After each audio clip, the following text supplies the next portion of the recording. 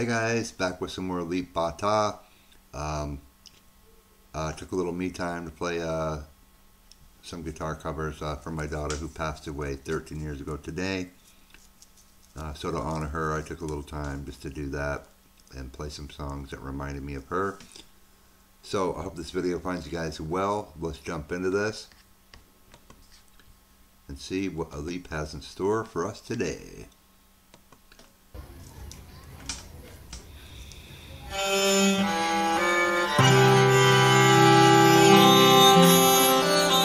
He made that himself too, I'm told too. It's kind of like an EBow, basically. Um, it makes the the string vibrate. Uh, kind of sounds like a violin.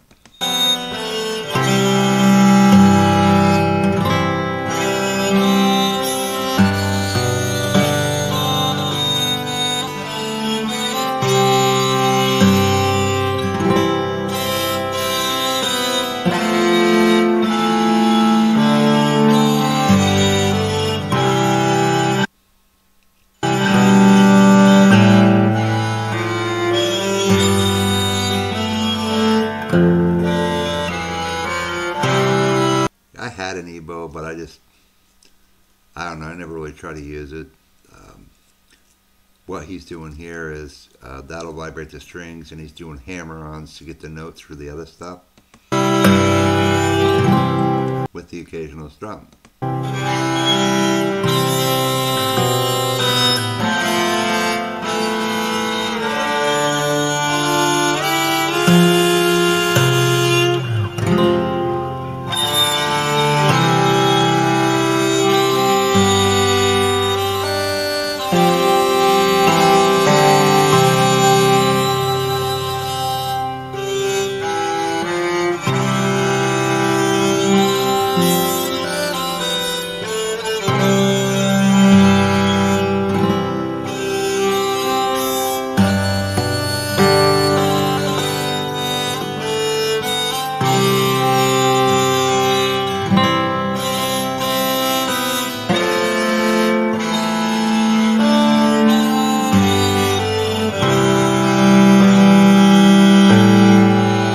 Super cool because he'll do a hammer on and then he'll do a pull up, um, and that'll get the separate notes.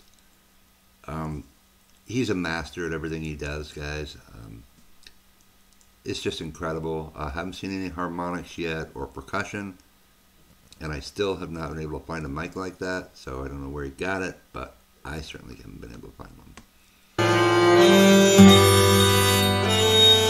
one.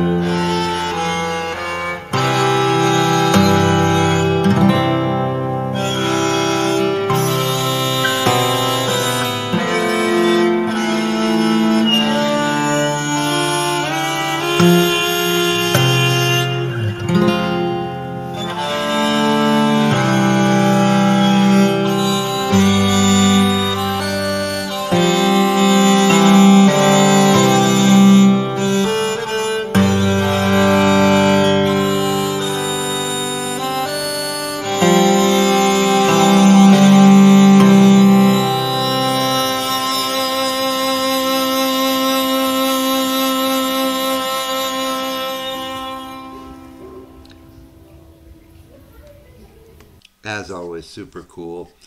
There's also a pickup uh, Sustainiac that will hold um, notes.